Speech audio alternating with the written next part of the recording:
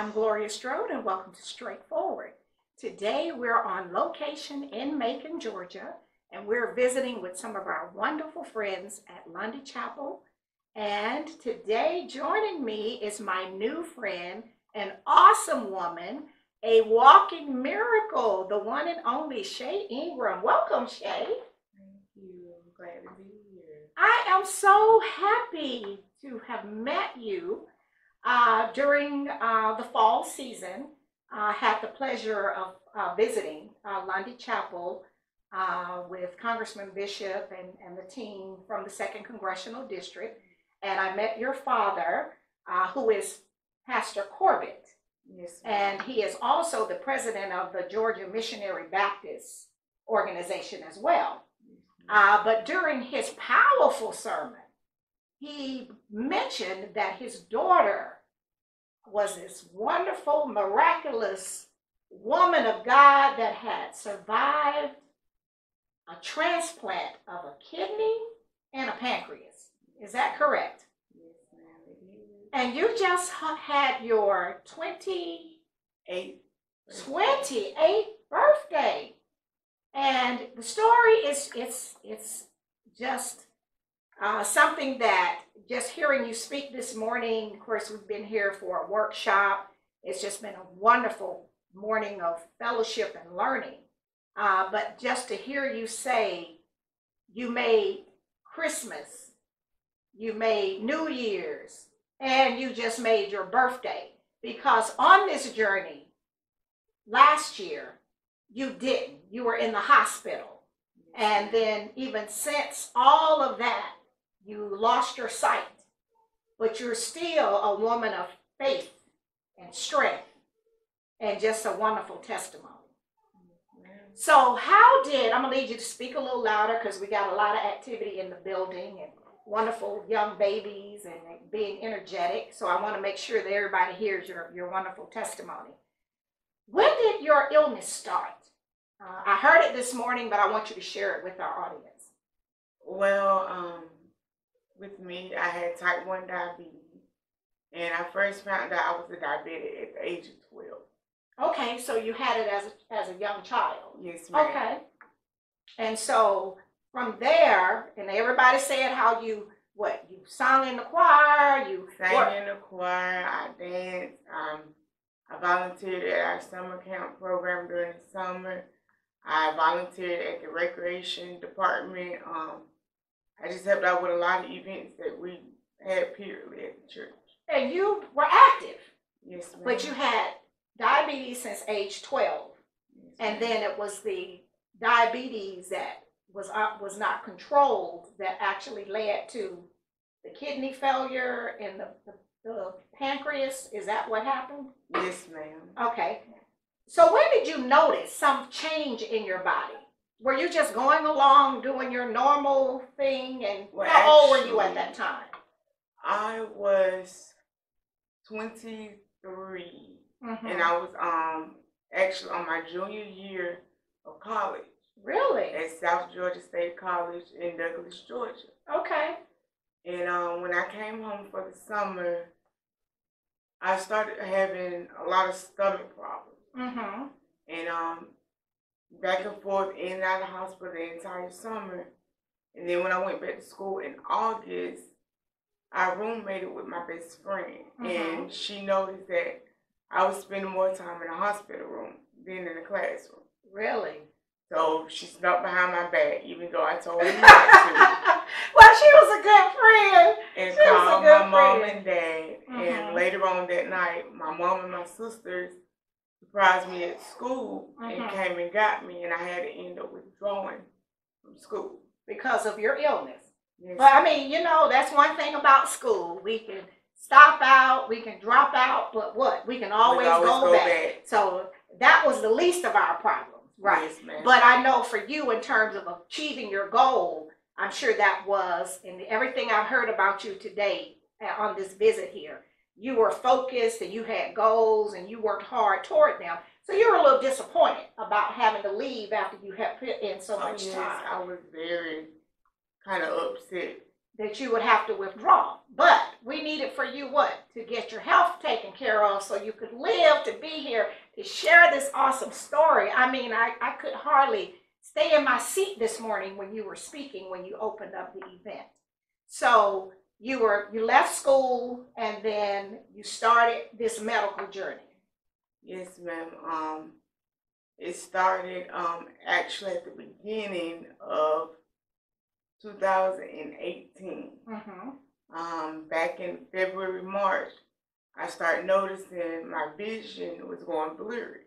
Really? And so I told my mom, she made me an eye doctor's appointment, and they told me that, okay, you need glasses. Mm-hmm.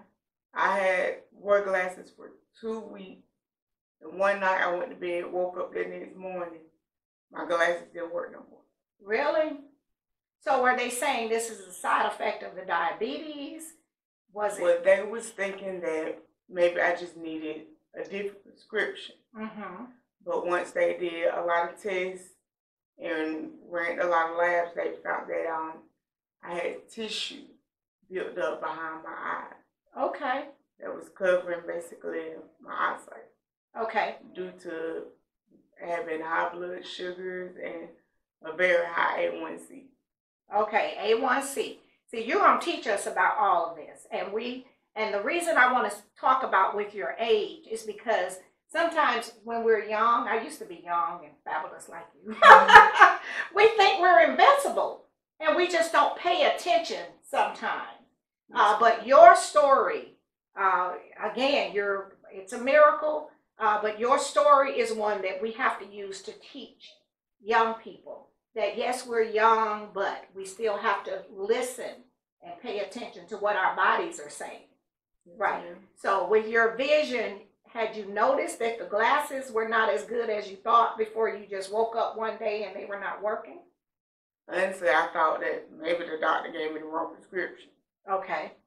And then, I mean, still at that point in time, as I looked around, looking at my nieces and nephews and my Mhm. friends running around, they eating all candy and cake and Right. cookies.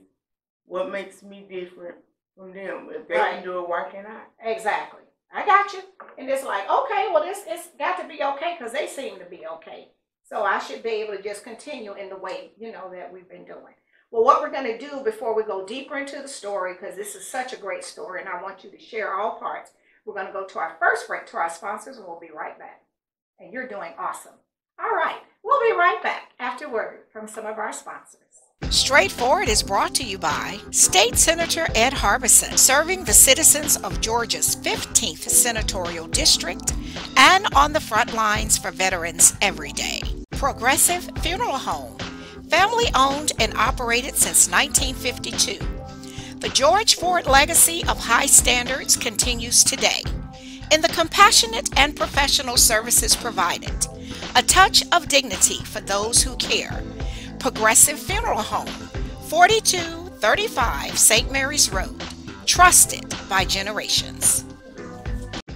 The Columbus Memory Center, 7196 North Lake Drive, Suite A, Columbus. Dr. Jonathan Liss is a board certified neurologist and sleep specialist committed to battling Alzheimer's by preserving independence, offering you the opportunity to get your memory number for free, the only vital sign for brain health. Call today at 706 327 4000 or visit columbusmemorycenter.com.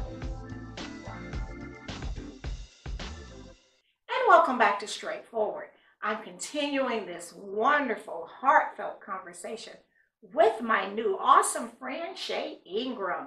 Shay, you are amazing. I feel so inspired. Uh, the days that I think I can't go on, I can always remember this time that we've shared with you today in the morning workshop and during this interview. And uh, you give me hope you are inspiration. You are a walking miracle. You are everything that your father, Pastor Corbett, said that you were. And I'm just so thankful that you would take the time uh, to do this interview uh, with us. So you lost your sight before you had the transplants. Yes, ma'am. At that time, you didn't realize you were in that much medical trouble. No. Okay. And so what happened when we went from, we lost the sight, so you had to adjust to losing the sight.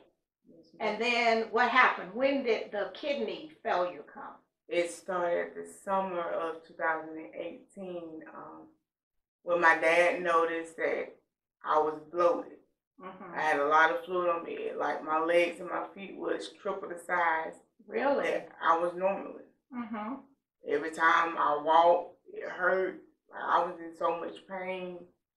So you had fluid, it was swelling, and it was tender, and you were very uncomfortable. Yes, ma'am. So it's a blessing that you left college. Because had you been at college, I just don't think that we would have had the sight on you that your parents had. And I heard your testimony this morning that your parents never let you give up. Never let you give up. So it was good that your dad noticed that. And so then you went to the doctor. I went to the doctor, and um, the first time I went was actually July the fourth. Mm-hmm. After we got finished watching the fireworks, and my daddy noticed that I was in a lot of pain, Mm-hmm. he rushed me on to the emergency room. Mm-hmm.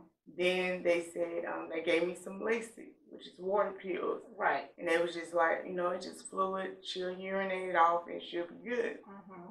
But then July the fifth, my sister noticed I was going in and out. I wasn't feeling good. Mm-hmm. So my sister rushed me back to the hospital, and the doctor came in and told my mom them that they had to rush me to the main hospital Mm-hmm. because I had 14 liters of fluid around my heart and lung. Really? Wow. And so it was your sister that saw you were lethargic, is when you say you just wasn't yourself. Yes, So it ma'am. was good that she wasn't so caught up in her life that she couldn't pay attention to because you're her younger sister. I'm the baby. Oh, the baby. No wonder dad keeps eyes on you. Daddy's baby girl. Okay, well, I'm daddy's baby girl, so I don't have no shame with that. I'm with that. Oh my goodness. And so uh, your big sister, she she noticed. And so you went and you had fluid around your heart and they were gonna you went to the main hospital. yes, ma'am. And that's here in Macon. Yes, ma'am. Okay. Main Coliseum, but now it's main Piedmont. Okay, Piedmont is everywhere now. And so they started working on drawing off those that fluid. Yes, ma'am. Mm-hmm. in the midst of them doing that, um, they called and told my mom and dad that um, I was at borderline for kidney failure Mm-hmm. and that I was only going to have to do a couple of treatments of dialysis Mm-hmm. and I would have been okay. Mm-hmm. But those couple of treatments turned to days, Mm-hmm. into weeks, and into months. Mm-hmm. Then um, once I started dialysis, and I was on dialysis till like October of 2018. Two weeks later, the doctor came back and said that I had um, stage one kidney failure. Really? And so when you were on dialysis, were you on it twice a week or three times a week? Three times a week. Three times a week. And so did you do it in home or you went to a dialysis center? I went to a dialysis. center. And so here you were, this 20 something year old former college student, and you had no idea, and you ended up in the dialysis center. Which, for our young people, and I'm speaking to the young people, we think that we're young, we're invincible, you know, and all of that. And so if it happened to the wonderful Shay, then it could happen to any young person. And so that's why I wanted you to share your story. Because, you know, our kids go off to college and have roommates. You know, I'm a graduate of Albany State. And so I lived in the dorm. No, really. And it's important to have people that's helping to look out for you. Right. Okay. And so then you went on the dialysis. How long were you on dialysis? From 2018 to 2021. In order to get the, so you went from stage one, To stage four. renal. Yes, ma'am. Okay. And then you needed a transplant. Yes, ma'am. a kidney transplant and then a pancreas transplant. So, how did you feel about that? That was a shock, wasn't it? I'm sure. It was it was very depressing because I mean, with dialysis, that took away a lot from me. Flexibility to move around and go in places, right? Because you got to be near a place where you can do the dialysis if you're not Yes, doing it at home. Did you have perio or the hemo? Hemo. You did the hemo. Okay, so that's that's that's a lot. It takes a lot out of your body. It makes you tired. But you were what? Still young, twenty something. That's why we're looking at your fabulous self today. With your beautiful skin. I was talking to you about that in the sidebar. And so when they said you had to uh, get the transplant, how did you prepare yourself? Because I already heard about you being a woman of faith and how you've always worked. Well, I was scared about it, but then once they told me that with the um transplant, if I get a kidney, that'll cure the kidney failure, and then with a pancreas, it would have cured the diabetes. Mm-hmm. So I'm like, okay, I can kill two birds in one stone. I think I might need to take this deal. Hey, you gonna kill two birds with one stone? No, that's a good way of looking at it, and I and I like that humor about it because it is it can be overwhelming as a mother, and I have a child to just even hear that. But for you, we're like, okay, well, if I could kill two birds with one stone, I'm gonna take that deal. I like that. Yeah.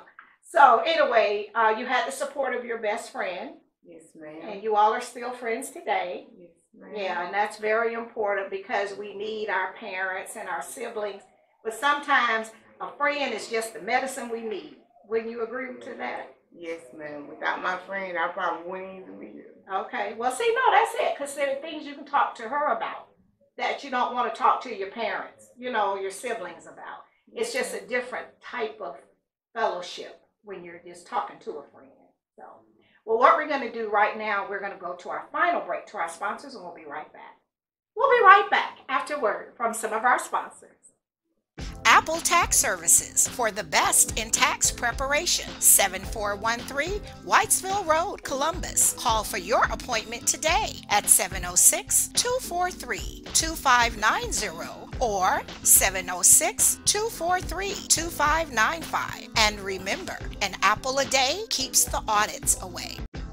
The Miley Agency, 4903 Armour Road. Gerald L. Miley and William Rip Singer have been providing comprehensive reviews and insuring families in Georgia and Alabama for more than 50 years. The Miley Agency will work nonstop to find you the best policy at the best price. You can rest assured that your information is secure, confidential, and protected. Call today at 706 996 2045. And welcome back to Straightforward. I'm continuing this fantastic visit with my new friend Shay Ingram. Shay is the woman that's going to keep me on track.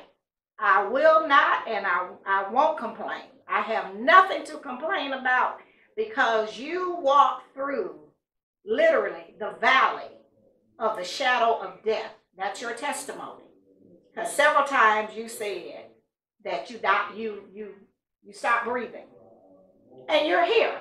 So those days when I feel like I can't make it, I just gotta pull out my phone and look at the picture that I took of you this morning and and encourage myself.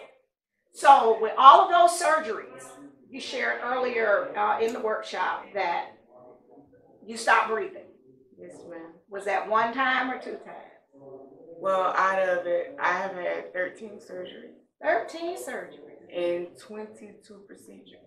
22 procedures. And out of all of them, out of the 13 surgeries, 10 of them, and then out of the procedures, I think it was 16 of them, I stopped breathing on the table while it was operating. Really? Yes, ma'am. But you had a praying mama and a dynamic father.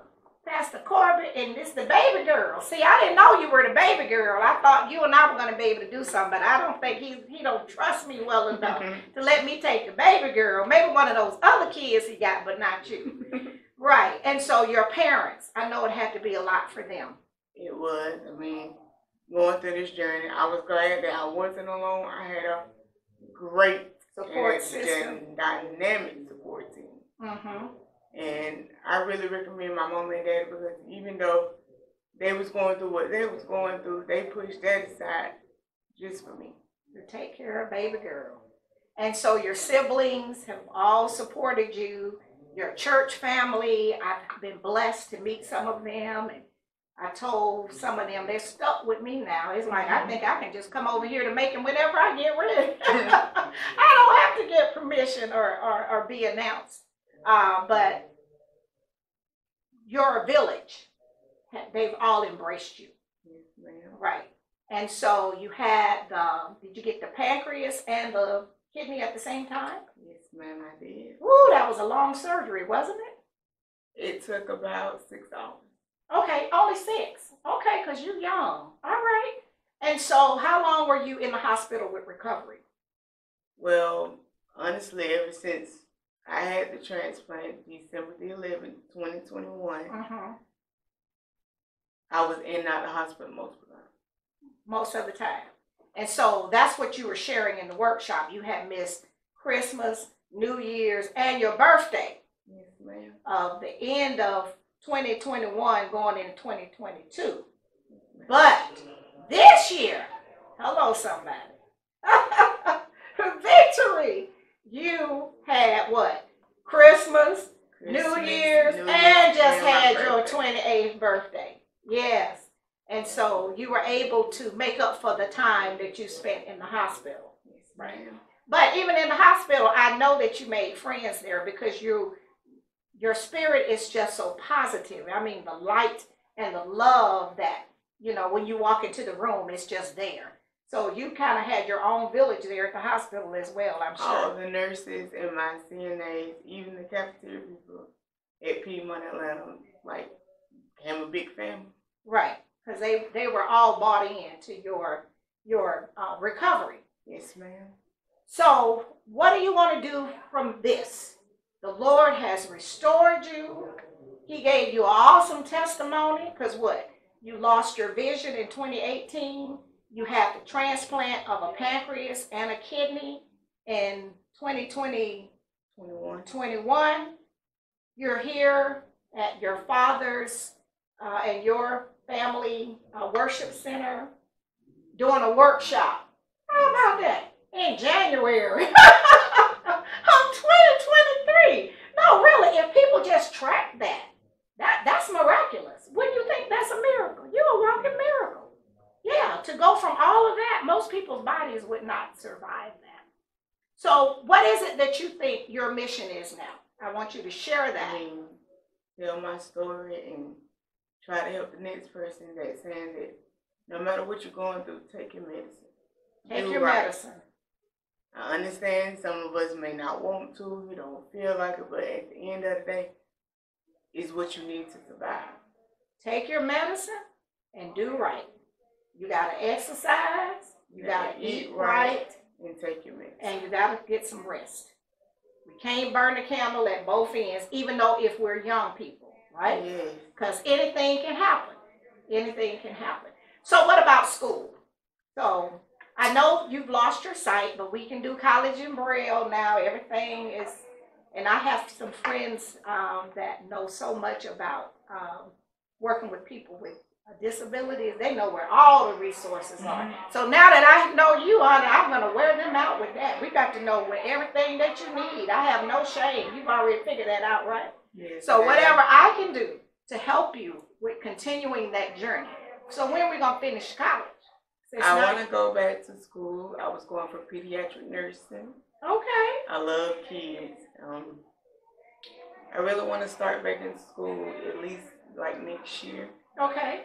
So maybe we should just take a class or two to get our feet wet.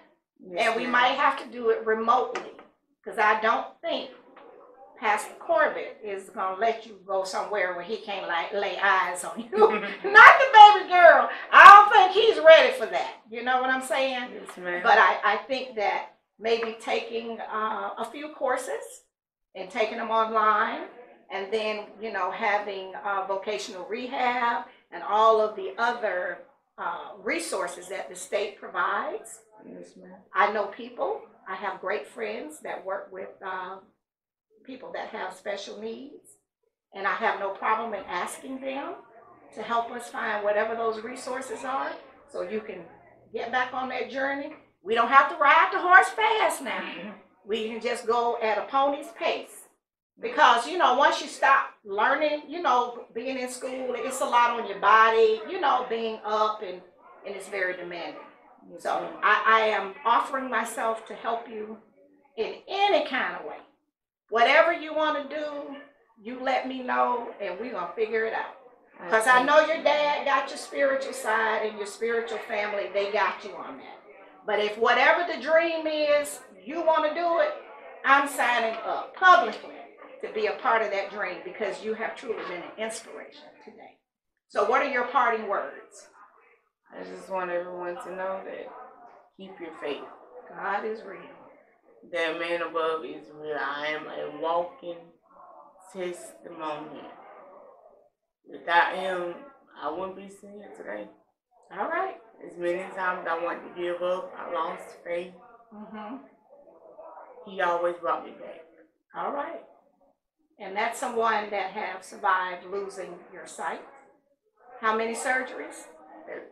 13 surgeries. You've had a pancreatic transplant and a kidney transplant. And then you helped facilitate a workshop today. That's what I'm saying. That's my kind of girl. Well, thank you so much. You are a pure joy. You give me so much hope and inspiration. And again, publicly, I am fully committed to whatever dream you want to see. I'm down. Ten toes to the ground. Mm-hmm. All right. Thank. No, thank you. This has been straightforward. If you don't stand for something, you will fall for anything. Until next time, be blessed. What up, world? What's up, Columbus? Be sure to tune in every Sunday, straightforward with Gloria Strode, right here on NBC 38.